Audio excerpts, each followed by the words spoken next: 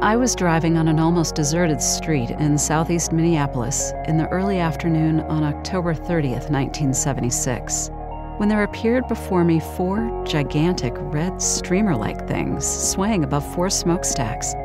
I pulled over and watched them for a moment. They seemed suspended in midair. I found out later they were balloons created by artist Otto Piene for the Walker Art Center. Now I have read that vandals destroyed three of them. How sad. Piene can take pride in knowing he brought this observer much joy for a few brief moments.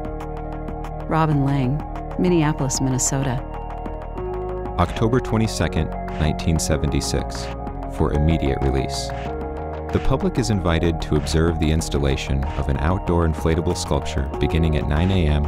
on Saturday, October 30th. Titled Black Stacks Helium Sculpture, this environmental work was created by artist Otto Piene and commissioned by the Walker Art Center in conjunction with the exhibition The River Images of the Mississippi.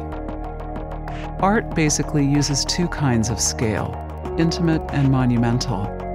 More attention should be paid to monumental scale, sky scale, in times when mankind proliferates and space expands, and everybody realizes how big the cosmos is. Otto Piene.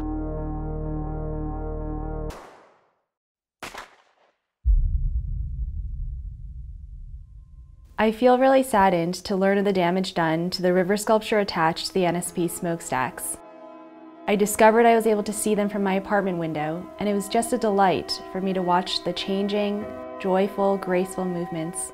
I hope the person responsible can be held accountable, and I feel sad and angry that they were not able to find pleasure in such a delightful piece of sculpture.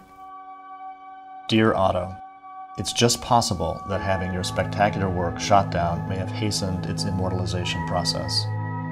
We have been receiving sympathy cards, and letters have appeared on the editorial pages concerning its beauty and decrying the vandalism that brought its early demise. Makes the whole thing quite wistful. Martin Friedman, Walker Art Center Director.